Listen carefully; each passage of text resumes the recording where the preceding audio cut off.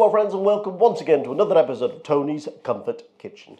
Now then, today I am going to whisk us away to a sun-kissed Greek island. I think I've actually I think I've actually said that already in one of my videos, one of my previous videos, but anyway, what the hell. We're going to Greece. We are cooking a classic Greek dish, which is not only very tasty, but uh, very simple to do too. Uh, the main ingredients are just chicken, potatoes, and lemon. How Greek is that? So, if you want to uh, cook along with me, then uh, let's get on and do it. Right, I'm going to start off with the chicken. I have here uh, four chicken thighs, uh, bone in, skin on. And to that, I'm going to add a good pinch of salt, plenty of black pepper, a heaped teaspoon of fresh uh, rosemary, you can use dried if you want. I didn't have any. A heaped teaspoon of dried oregano. Lots of garlic chopped up. There are actually six cloves here because you know the, the Greeks like a bit of chicken with their garlic. The rind of half a lemon. Half a teaspoon of cumin, ground cumin the juice of one lemon, and finally a good glug of olive oil. Okay, so it's just a case of mixing this all up into basically a marinade. Now then, ideally, you would uh, put this, or cover this, put it in the fridge for a minimum of about two hours, I would say. You don't need to do it overnight. However, for the sake of this video, I won't do that because I just I don't have the time.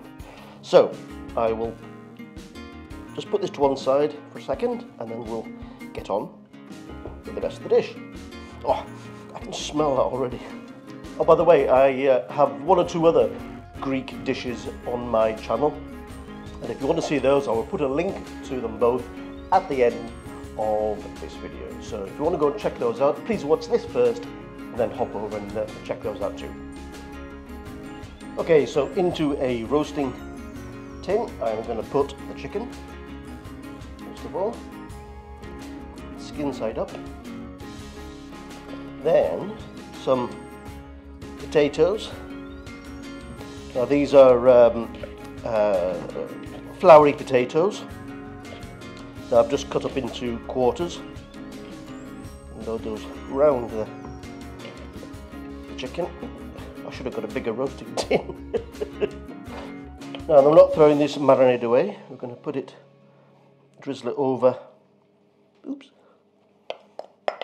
the chicken and the potatoes. That's all goodness.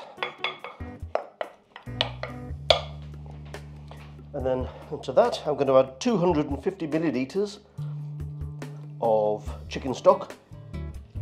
And that, my friends, is it. It will now go in to uh, an oven uh, which I've set to 220 degrees Celsius and I believe that is 425 Fahrenheit.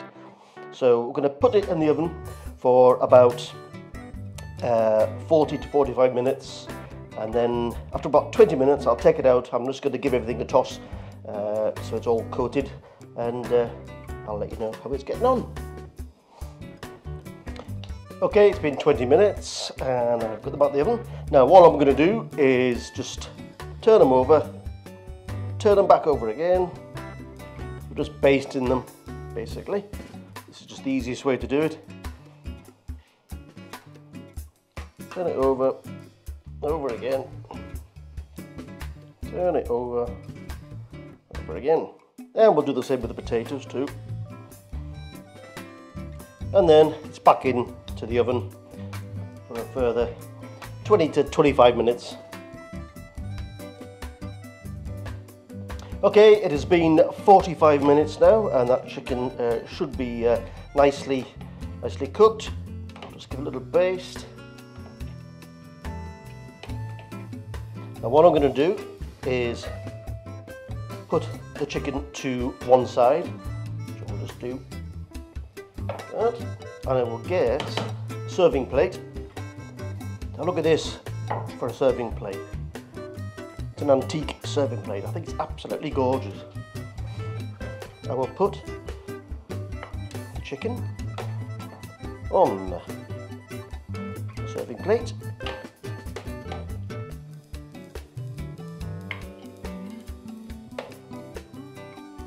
I'll put it to one side because I'm going to finish off the potatoes. I mean, you could eat the potatoes, I think they're probably well cooked now. But I'm going to stick them under the grill or the uh, broiler, as the uh, Americans say, just to finish them off so they're nice and crisp and tasty. Okay, that is the potatoes out of the, uh, the grill. They're looking absolutely delicious. Now then, I'm going to do the same again. I'm just going to put them to one side. Get that lovely serving dish.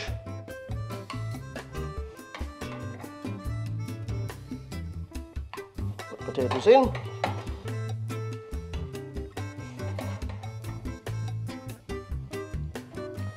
And there we have it. Again, I'll put this to one side and we're going to reduce down the sauce a little bit. Right, I'm just going to reduce this uh, liquid down just to concentrate the flavours and then of course we're going to pour it over. It won't be thick like a gravy but it'll be packed full of flavour. And that my friends is the dish done. Time to just pour this over and of course give it the obligatory taste.